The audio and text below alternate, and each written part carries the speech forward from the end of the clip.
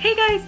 So today I thought I would do my first ever monthly favorites video. I enjoy watching people's monthly favorites because I feel like I learn about a lot of new products and um, I just think it's really great.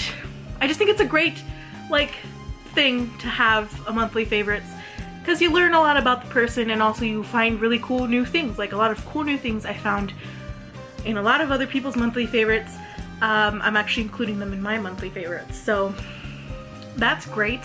So the first thing I want to start off with is a gadget. This is something I think in today's world everybody needs to have. I didn't think I needed one until I got one and then it's like my most used thing that is a gadget in my like vicinity besides my camera and my phone.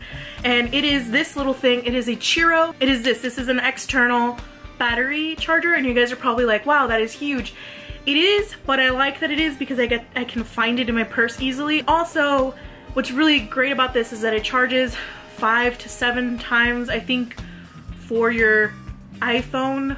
Um, so I've, I've gotten seven charges out of this thing. Um, I know that some people probably are, I know that on the website it says five charges, five full charges, but I've gotten seven. So um, this is really great. So it tells you here on the side how many charges you have left and um, it's just really great. It takes a long time to obviously like charge up, but once you got it, you just throw it in your bag, your purse, your backpack, whatever it is that you have, or even in your car, and in case of emergencies, you have something that will charge your battery because my phone here uh, dies instantly within two seconds of me using it or opening an app. Also, this is great to charge your camera. It's also really great if you need to charge your DS.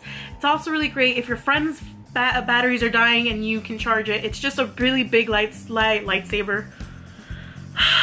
Watching too much Star Wars. It's just a really great lifesaver, especially when you're out and about and you aren't going to be home for a very long time. It's just great to have. Um, I know that they sell really tiny ones that are like for one charge. They also sell really tiny ones for like a few charges and they're tiny and you can keep them in your purse. That's great and if you like it totally get that, but I really like this big one, and this is a cheero, and it has a little face, and it's just so cute. I mean, look at it. It is adorable. The next thing on my favorites list, I know you guys have probably seen this a thousand times already, but it is my Erin Condren. I really enjoy it. It keeps me on track and everything, and it's just a really great planner. I recommend these planners a lot and just planners in general. The next thing on my favorites list is my camera that I am filming this on right now. I'm not filming this on my normal uh, 60D uh, DSLR camera. I'm filming this on a Sony a5100 and it is amazing. It I feel like sometimes it even has better quality than my regular DSLR and um, I'm just really enjoying having it and bringing it with me everywhere that I go and it's just a really nice camera and it, it's just a great thing to have. It's really nice. For this month's game pick of the month thing, I'm gonna talk about Town of Salem for a second because I can't stop playing this game.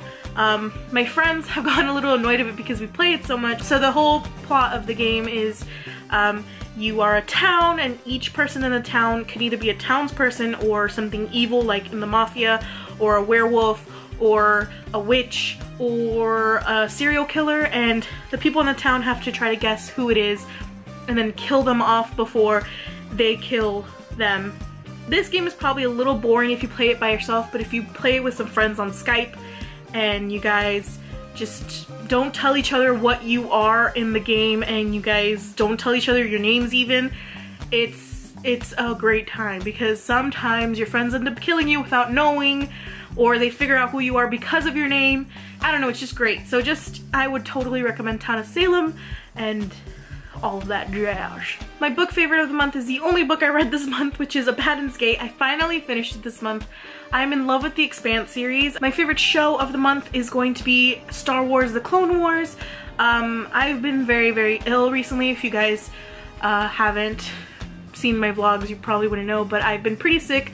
I've had fevers most days of the month Then I think any normal human being needs to. One of the things I would sit down and watch and relax with was Star Wars The Clone Wars and I have to say that this series is amazing. I recommend it to anybody that's excited for The Force Awakens uh, that's coming out at the end of the year.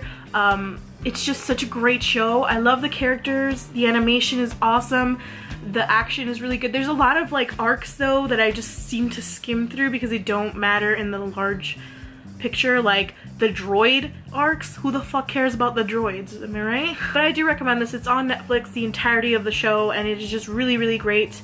And it's nice to see other characters and it's nice to see characters that you thought you hated because of the movies but you see them better now. I don't know. I just really am enjoying myself watching the show. Favorite movie of the month has to definitely go to Ant-Man. If you guys haven't seen that, you definitely should. And I also have a review for that right up here.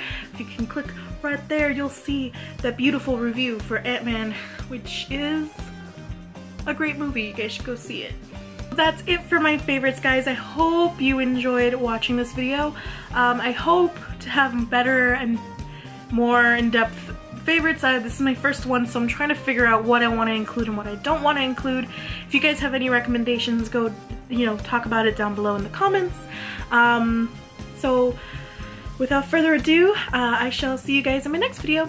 Bye. The first book I'm going to talk about, you probably saw it on my Instagram if you follow me on Instagram. If you don't, you should totally do that. Uh, but it is Dust by Hugh Howey. This is the third and final book in the Silo series.